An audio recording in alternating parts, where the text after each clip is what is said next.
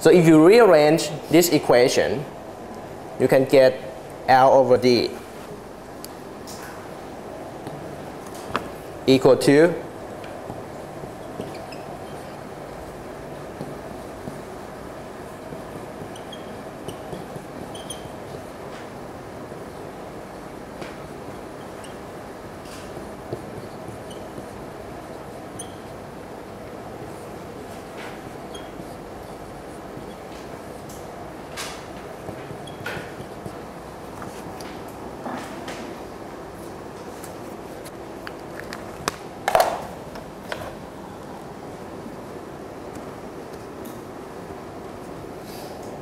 Okay? Let's start with the easy one. The ratio between bulk viscosity and viscosity of the fluid at the surface, mu b over mu 0, are calculated and it is equal to 0.89. All right? Prandtl number is already calculated to be 0.7. What is TB2? That's bulk temperature at the outlet. So TB2 here will be 230. Okay? So that's 230. And TB1 is the inlet temperature of the bulk. That's 70. How about delta T log mean? By definition, delta T log mean would equal to temperature difference at the inlet subtracted by temperature difference at the outlet divided by difference in logarithm. Okay? By the formula itself, if you try to see the form of formula, sometimes it, it looks confusing. But just try to understand that delta T log mean is the average is how we take the average. Average of what? Average of temperature difference. So when you draw the picture like this, find the temperature difference at each end. Let's say at first end here, you will have T01 subtracted by TB1. Or you may, you may write it down like this. Delta T in minus delta T out divided by ln of delta t in minus ln of delta t out. You take delta t in subtracted by delta t out and then take the logarithm in front of the delta t in the denominator. Okay? Delta t in from the picture here, driving force is here. That would be T01 minus TB1. Delta T out would be T02 minus TB2. And then logarithm, difference of the logarithm would equal to logarithm of the ratio.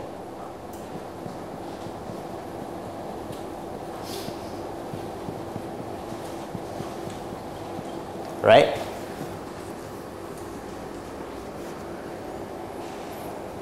All of these four numbers, T01, T02, TB1, TB2 are known.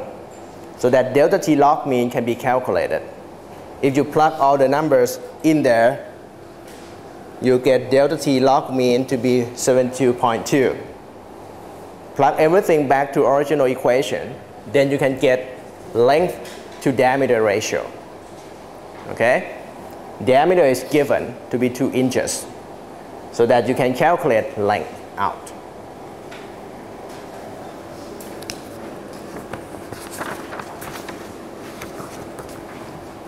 All right? Any question?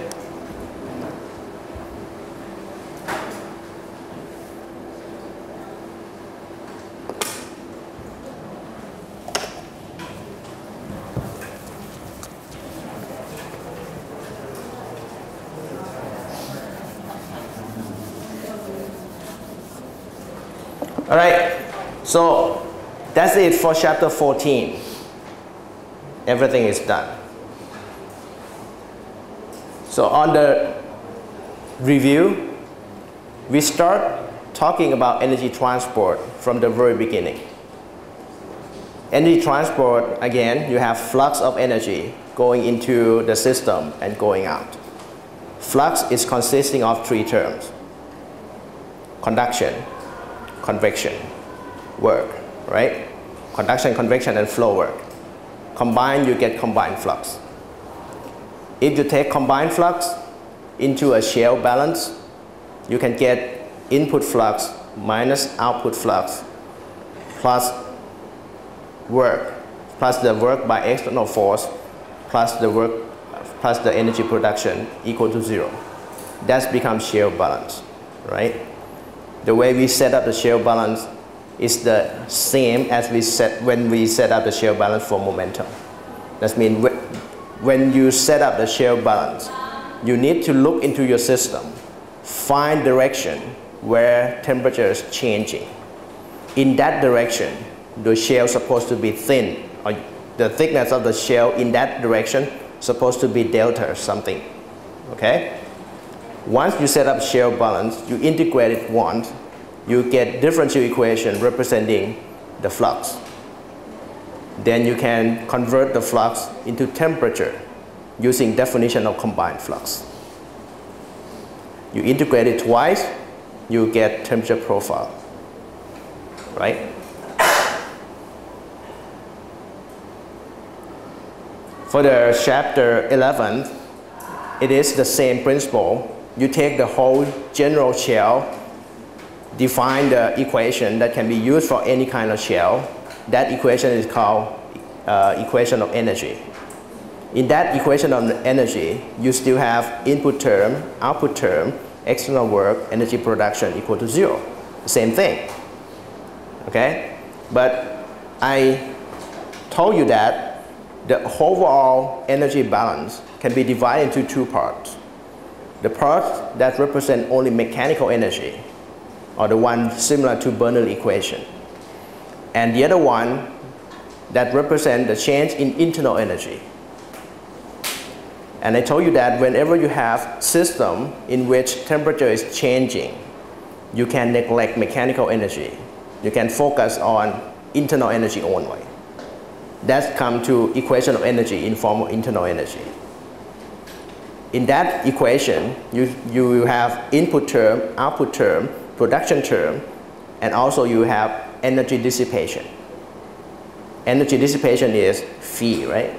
That's directly related to viscous heat.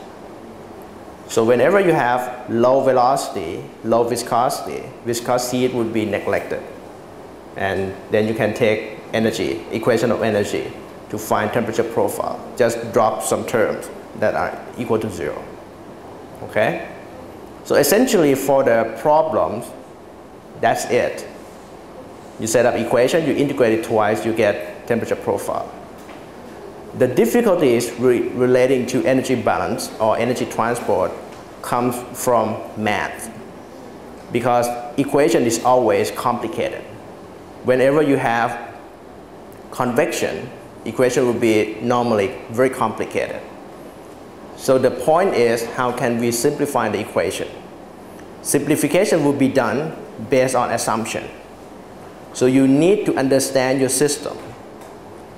And I like to emphasize here, when you analyze the problem, you need to write it down, whether you have convection, conduction, in which direction. And then you need to compare convection in compare convection and conduction in the same direction. Which one is more important? The less important one can be dropped. Okay? Then the rest would be math. That's you are on your own. Okay? So, I'd like to give you one example Oh, another thing that we talk in, in this part would be of cooling. And the concept of Newton law of cooling would try to combine convection and conduction together and represent it by using simple equation. Okay? That equation that we use is called Newton law of cooling. Normally, whenever you use Newton law cooling, it means that you have convection. It implies that you have convection. But that convection will be represented by a simple equation. So Newton law cooling will be approximation. Instead of trying to get nonlinear temperature profile, Newton law cooling would try to simplify it, divide, it, divide the whole system into two zones. The first zone, it is remain, I mean, it is assumed that the temperature in that zone is constant. That zone is called bulk. And the other zone in which temperature is changing with respect to position, that zone is called film resistance. Okay? Newton law cooling assume that temperature change in the film resistance will be linear. So that simple equation like equation for conduction can be applied. The point for Newton law cooling is we can manipulate equation using one variable called heat transfer coefficient. Heat transfer coefficient would be calculated or approximated based on experimental data. Okay? So you can use simple equation as long as the heat transfer coefficient here will be found to be correct number. That heat transfer coefficient will be normally expressed in terms of dimensionless number called Nusselt number. And it will be given as a function of Reynolds number, Prandtl number, and so on. Just in chapter 14. Okay? So in the essence or in the core, that's it for energy transport. Now, let's see whether you can do this.